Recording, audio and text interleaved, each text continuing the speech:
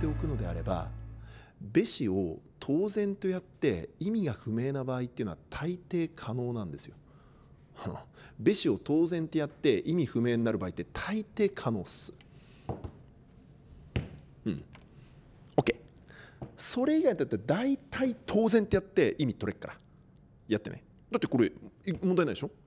中院を過ぎてからね開けるのが当然ね開けろよっつってるじゃん。うん、はい。じゃあその次、えー、これ鍵括弧にしました前回ね、えー、処分順は中院すぎて、えー、開くべき、はいえー、でべきが赤丸ね、うん、開けるのが当然。こんな風に同じようにやってみてください。開けるのが当然で意味通じます。それでいい。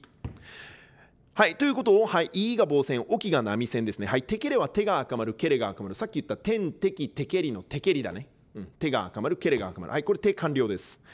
いいおきてで、いい置くってことはいい残すんでしょ？だって遺言だもん。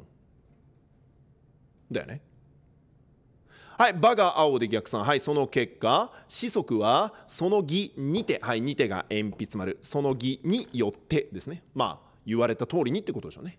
うん、はい、にてが鉛筆丸。その言われた通りに、はい、開き、見るに、はい、開き、棒線。で、下向き矢印青で、見るが棒線って前回やったかな、多分ね。うん、開けて見てみたわけです。ね。はい、見る連帯形青でスラッシュ。そしたら、ね、えー、こう書いてあったんです。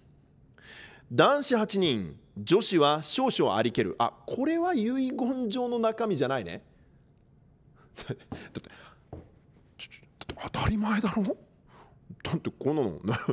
なんでお前あの分かるじゃん。